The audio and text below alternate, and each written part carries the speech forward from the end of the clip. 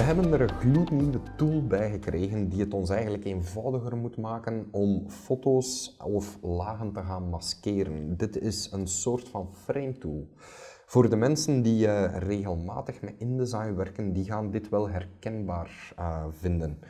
Deze tool die laat ons namelijk toe om eigenlijk een leeg kader te gaan tekenen in het document. En zodra dit getekend is, zie je het zeer herkenbare, toch voor InDesign-gebruikers, kruis dat in het kader staat.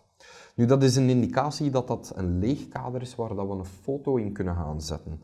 Ik ga hier eventjes nu naar File, Place, ik ga voorlopig Embedded kiezen en ik ga uit de foto's die ik hier heb klaarstaan, hop, een afbeelding kiezen en zoals dat je kan zien, wordt die onmiddellijk in dat kader geplaatst en ook passend geplaatst in het kader, zodat heel het kader gevuld is.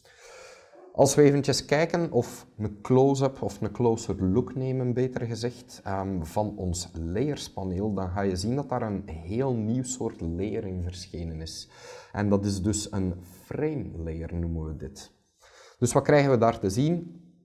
Dit, deze thumbnail die duidt aan dat het om een frame layer gaat. En dan in de tweede plaats zien we dat de foto daarin geplaatst is. En zoals je ook kan zien, is dat een smart object. Dat wil dus zeggen, als je dat gaat gaan bewerken, dat dat netjes al zijn kwaliteit zal gaan behouden. Bewerken van dat ding, je kan simpelweg de frame tool er weer bij halen en uw masker eigenlijk, of uw frame gaan vergroten en verkleinen zoals je kan zien doet dat niets aan de afbeelding die erin geplaatst is.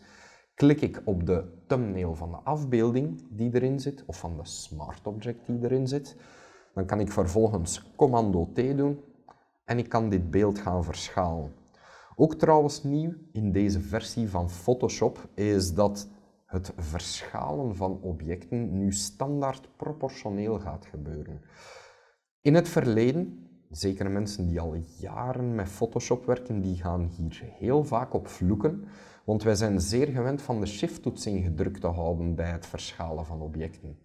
Het ding is nu echter, als je nu de shift-toets ingedrukt houdt, dat je nu juist niet proportioneel gaat schalen en zonder shift wel proportioneel.